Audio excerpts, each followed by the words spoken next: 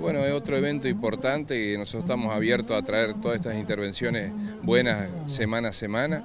Este, y bueno, viste la movilidad que hay, es un torneo nacional de surf que van a ser cuatro fechas, dos van a ser en el departamento de Rocha y yo creo que le da una movilidad que trabaja el turismo, trabaja el, comercio y además un evento deportivo con las primeras figuras del surf. Se está trabajando muy intensamente en atraer eventos aquí a Rocha a lo largo del año. Y sí, esa es la idea. A lo largo del verano se hizo de la misma manera. El intendente también nos quiere que durante el invierno se trabaje de la misma manera y vamos a seguir trabajando, apuntando a que Rocha de alguna manera sea una atracción para todo el mundo. ¿no?